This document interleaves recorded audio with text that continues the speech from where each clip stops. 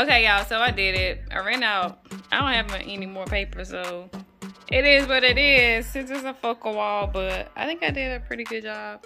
It ain't perfect. I ain't a professional now, but you know, add some mm, in my living room. Some. Mm.